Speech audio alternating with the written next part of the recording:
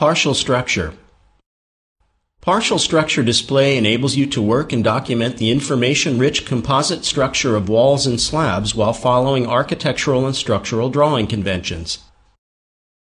Showing and exporting only the load-bearing core structures, instead of filtering these structures out of the whole model one by one. This has great advantages when communicating with other disciplines such as structural applications. The partial structure display function allows you to display and output composite and complex elements in simplified form. You can show or hide skins as needed using the partial structure display dialog box. Entire structure, core only, or without finishes options.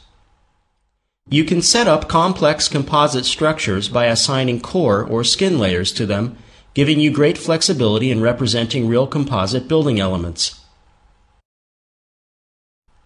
You can also save different partial structure display settings on a view-by-view basis.